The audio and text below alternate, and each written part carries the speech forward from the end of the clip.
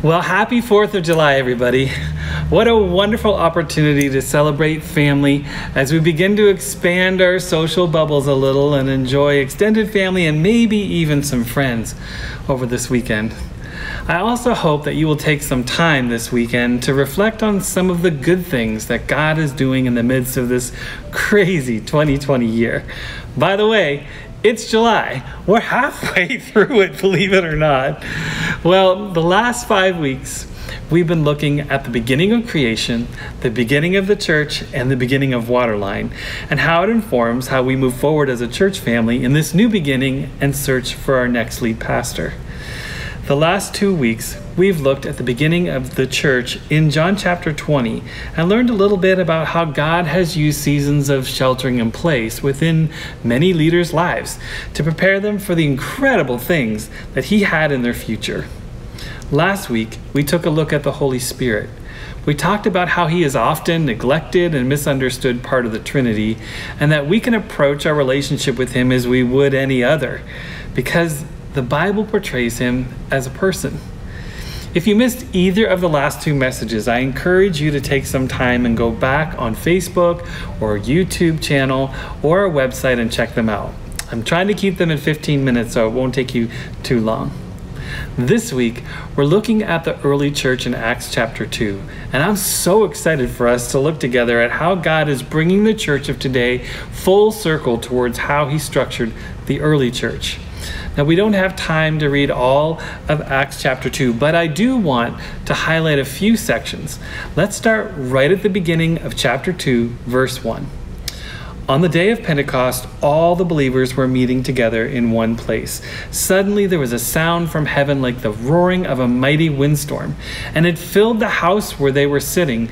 Then what looked like flames or tongues of fire appeared and settled on each of them, and everyone present was filled with the Holy Spirit and began speaking in other languages as the Holy Spirit gave them this ability. At that time, there were devout Jews from every nation living in Jerusalem. When they heard the loud noise, everyone came running, and they were bewildered to hear their own languages being spoken by the believers. Wow, what an amazing experience it must have been to be part of the first visitation of the Holy Spirit after Jesus ascended to heaven. To experience Him move in power like that in big ways. This is another example of God showing up in big ways while his leaders were sheltering in place. They were all gathered together in one place, and then suddenly, oh, how I dream for suddenly moments for you and for me, where the Holy Spirit shows up like that in my life, in my work, in my life group. Has the Holy Spirit ever suddenly showed up in a worship experience or maybe during your prayer time and it changed everything? I've had several experiences like that over the years where the Holy Spirit seemed to suddenly show up in a powerful way and everyone present was immediately aware of Him. And oh, how I long for that for each of us and for us as a church. So the Holy Spirit has come into the upper room where the disciples were meeting with a loud sound that caught the attention of people even outside the building that they were meeting in. Then the disciples each started speaking in languages they've never learned and didn't know. Remember, the primary purpose of the Holy Spirit is to empower us to give witness to Jesus or to tell other people about the gospel. Let's look back in Acts chapter 2, verse 7. They, the people, were completely amazed. How can this be? They exclaimed. These people are all from Galilee, and yet we hear them speaking in our own native languages about the wonderful things God has done. They stood there, amazed and perplexed. What can this mean? So now the disciples have moved outside of their hiding place where they've been sheltering out of fear. And they're stepping out boldly and telling those around about all the wonderful things that God's done through Jesus. Then Peter stands up and preaches an amazing sermon on the street. Let's jump in Acts chapter 2, verse 14 through 41. It's an amazing sermon, and I wish we had time to read it all, but together, but we don't. So we're going to let me pull a few verses out, if you will. Then Peter stepped forward with the eleven other apostles and shouted to the crowd Listen carefully, all of you, fellow Jews and residents of Jerusalem. Make no mistake about this. These people are not drunk, as some of you are assuming.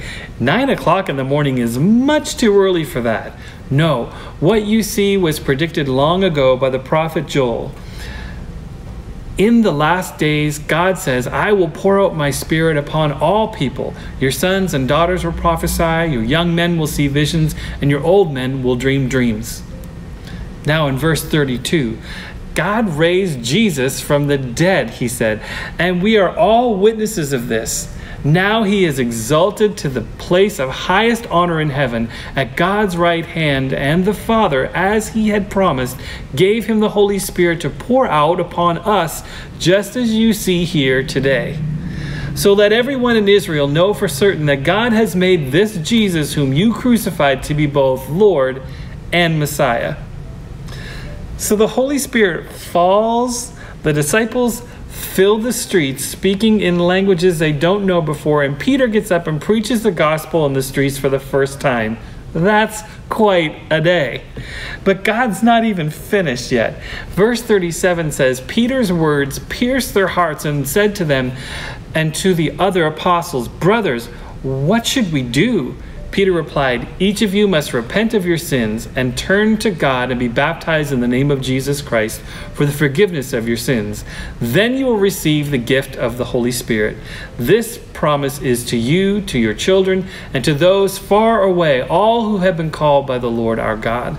Then Peter continued preaching for a long time, strongly urging all his listeners Save yourselves from this crooked generation. Those who believed what Peter said were baptized and added to the church that day, about 3,000 in all. So, one day, day one of the church, they see 3,000 people saved and baptized. Now, that's an amazing way to launch a church. Day one, the church was a megachurch. You see, big churches are not bad. I pray every church in this town becomes a megachurch. It takes all kinds of churches to reach all kinds of people. There are some things that can only happen when there's a multitude of people gathered under Christ. So let's keep praying God continues to draw people to Waterline and that, that we continue to grow to the glory of God. So, how did the disciples deal with this great influx of people? How did the disciples structure this new group of believers? Verse 42 All the believers devoted themselves to the apostles' teaching and to fellowship, and to sharing in meals, including the Lord's Supper, and to prayer. A deep sense of awe came over them all, and the apostles performed many miraculous signs and wonders. And all the believers met together in one place and shared everything they had. They sold all their belongings and gave what they had to anyone in need. They worshiped together at the temple each day, met in homes for the Lord's Supper, and shared their meals with great joy and generosity, all while praising God and enjoying the goodwill of all the people. And each day the Lord added to their fellowship those who were being saved. They met in the temple and they gathered in homes. They gathered in groups, large groups, in temples, and then homes around tables. As I think about it, churches, especially in pre COVID 19, they're Sunday centric. Everything revolves around the temple or Sunday. I believe this has hurt all of us. It's encouraged us to just focus on our spiritual lives and spiritual community one day a week. I believe God is calling us globally through this pandemic back to the table. You see, a rhythm of the walk of the early church was table and then temple and then table and then temple. We've been hopping on one leg and wondering why we can't run as a church. I believe it's because we haven't fully embraced the power of meeting in our homes and smaller groups of believers. This is why I was so excited a few weeks ago talking about how the Holy Spirit has been leading thousands of churches to launch home church movements within their congregation without any national conference or denominational directive. If you missed it, I mentioned just a few weeks ago that the same week we launched our home experiences, without talking to anybody, thousands of other churches around North America started the exact same thing.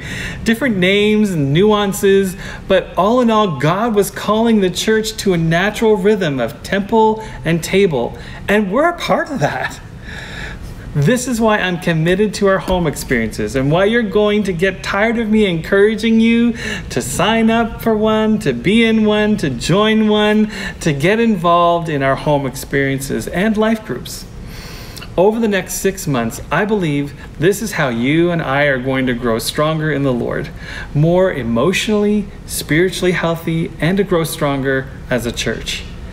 I cannot, as your pastor, encourage you to walk the Christian life from Sunday experience to Sunday experience to Sunday experience. It's just hopping on one leg. We must learn to walk in rhythm of temple and table, temple and table, or home experience to Sunday experience, to home experience to Sunday experience. So, Waterline, today I want to leave you with one question. Do you have a temple table rhythm in your life? If not, will you consider reaching out to us at the office so that we can help find you the best place to get started at the table? In our next steps, you're going to be given some dates when we have some home experiences happening.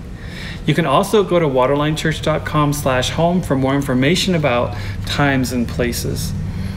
But we would love for you to experience life in a life group or in a home experience. And if you would consider that, would you text the word me to 317 820 2757 if you're considering stepping out and wanting more information about being part of a life group? But maybe you'd like to host a life group. And if that's the case, then you can text the word home to the same number 317 820 2757 if you'd like to host or invite us into your home to, for us to help create an experience there. Well, Waterline, I'm so excited about how God is moving and how we're being part of what He's doing around the world by leading us into this temple and table rhythm. It means that He wants to help you and I to grow in strength through these experiences in the coming months. I love you. I love you. I love you. Happy 4th, everyone.